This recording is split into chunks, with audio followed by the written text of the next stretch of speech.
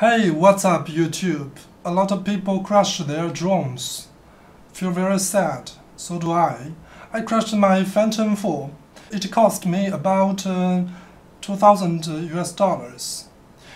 After um, I crashed my drone, my son ran to me and said to me, Father, I got a drone that will never crash.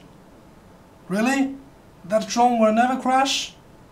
Let's take a look. Actually, this is a drone, not maybe not for you, for your son. It doesn't have a camera. So this is the boy, a drone that will never crash. Is that true? We crash it now. See? See? So let's take a look first. What's inside of the box? Remote control. There's some. This is a screwdriver screwdriver to uh, to open this. There's some this this part wings. This is a cable to charge the battery. The part the battery is interesting, you know. The battery, you know, you can you can take it out, and like this. So you charge the battery like this, but do not connect it uh, the opposite it is very dangerous. And uh, connected to the to the charger, there is a LED inside. So when it is full, the LED will light. But I think this this part is very dangerous for children. So,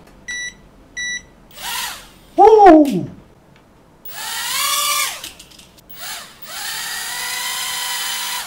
So I think this drone is very, you know, the battery can move.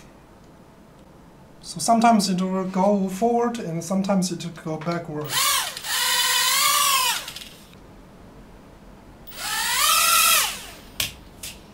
So actually, it is not uh, straight, so I cannot control it on, so it really sucks for me. This, this side is heavier than this side.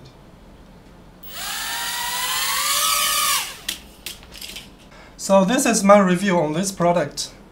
It will not crash, yes, but it is very difficult to control the directions.